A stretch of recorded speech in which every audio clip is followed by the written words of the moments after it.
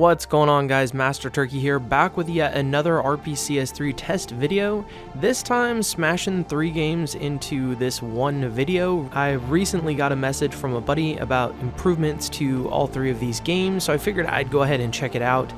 Now, Killzone 1 has been playable for, I don't know, about 7 or 8 months now or so, so there's really nothing to go over too much about Killzone. I'll show a few seconds of gameplay of that. That's been playable for a while. It looks great, it plays great. The patch that allows you to slide that FOV out is also a nice touch. I would say that the elbows and knees sort of gets a little interesting in the shot as you're moving around there and it still is a clunky to control FPS game, but it does look and play great and is playable in RPCS 3.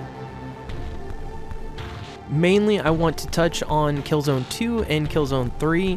Now, Killzone 2 looks better, that's for sure, but the frame rate is still really, really bad. I did leave these all on the resolution scale of 4K, so someone's gonna say somewhere that's because you had the resolution scale cranked up. It is what it is. I tested it this way, so the FPS not so great but the graphical improvements are definitely there and you can see that from the last time that I tested this.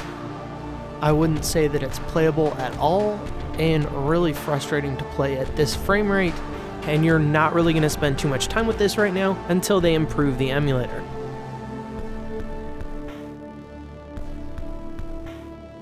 Now, Killzone 3 is a different story.